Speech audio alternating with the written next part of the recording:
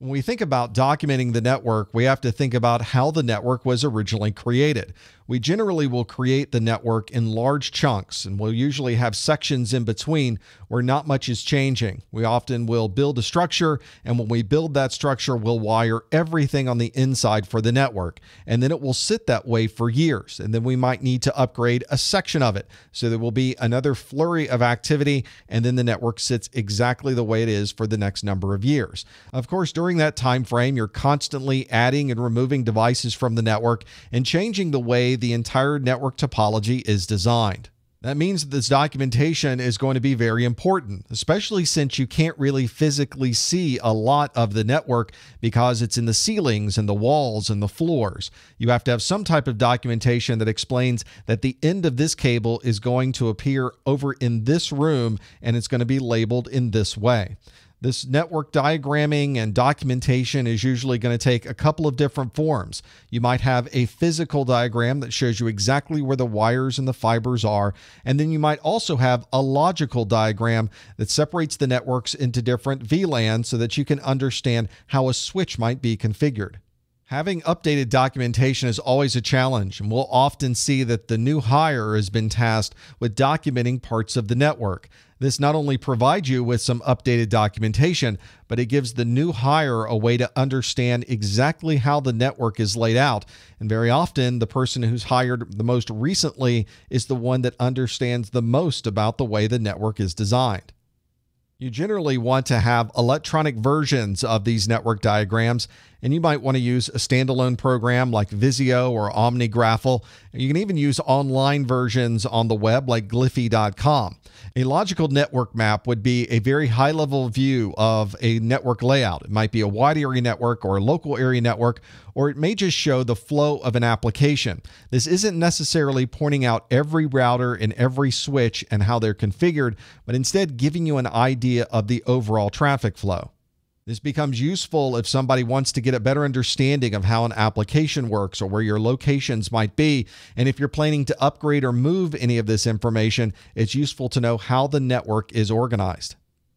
If you're someone who needs to understand exactly what devices are in place, how those devices are interconnected to each other, and where they might be located, then you might want to create a physical network map. This would show exactly where the wires are going. It might show IP addresses and MAC addresses.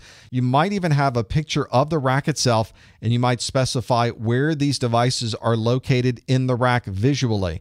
That way, you're able to direct someone to a specific rack in a specific location and point out exactly exactly where that piece of equipment is located. One way to track all of this equipment is through asset management. You want to be able to have a documentation of what all of the equipment is that you have, serial numbers or any identifying markers, and you might even want to add your own asset tags to each one of these devices. This is useful for your financial records. You can have this information available for audits to make sure that all of the equipment is still in the building. And of course, for taxes and depreciation, this can come in handy. You'll generally want to have the make and model of the device device, maybe configuration information of what's inside of that device, what adapter cards you may have purchased, for instance, when it was purchased, where it was purchased, where it's located, or anything else that might help you identify that particular asset. You would generally put a tag on the device to identify the asset. It might be a barcode like this one. It might be an RFID, so you can identify it through radio frequency waves, but it's usually something visible. So not only can you see it with your human eye and identify that asset, but you could use electronic means as well. You've now gathered a lot of information about this device. You have the type of device, its configuration, where it's located, where you purchased it from, and you've put a tag onto that device. And you generally consolidate all of that information in asset management software. This is going to allow your help desk to gain access to understand what a particular user might have. You can report on how many of those types of devices you have and where they might be located. And it's usually a database that you build as the company grows. As you get more IT assets, you can add them to the database and really keep track of where everything might be in your organization. From a networking perspective, another important piece of documentation is associated with your IP addresses. If you have a large organization, you may have a number of DHCP servers, and of course, it's important that everybody is able to get an IP address when they connect to the network. So, with IP address utilization reports, you're able to understand the scopes and how they're being used in your environment. How many IP addresses have been assigned to devices? And what are those devices? And do you have more IP addresses in the pool so that you can assign more at a later time? This is something that's usually integrated into your management system. There may be specialized DHCP software, and this may be able to provide us with reports that show us information about how many DHCP IP addresses you've put onto the network and how many have been used. This can give you more documentation that you can use to then understand what devices do I have out on the network and what type of access do these devices have.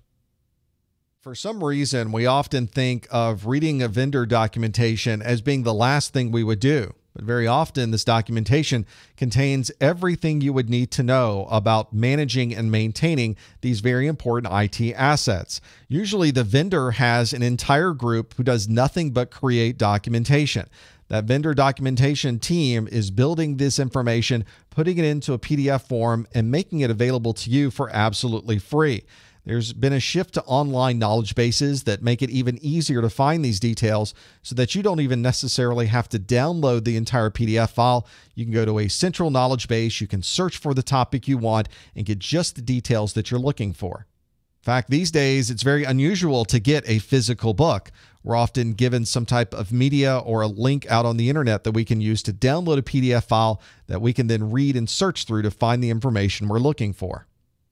Your internal documentation is also important. You probably have IT policies that have already been established, and there may be processes and procedures for things like people who are bringing their own equipment into the building or when visitors need to get inside of the data center. You probably have operational procedures as well. If there's an outage, there may be a list of people that need to be called immediately. If there's a problem with the facilities, if your air conditioning or your heating and your data center is not working properly, there's probably a completely different group of people to contact. You probably also have a process in place for software upgrades. For instance, things like operating systems may get updated at least once a month. So you need to have a set of documentations that describe the testing process and then how the change control will be handled for deploying that particular update. The important part is that you have the documentation. If everything has been written down and agreed to, then everybody knows there's one place to go to understand exactly what the processes and procedures might be.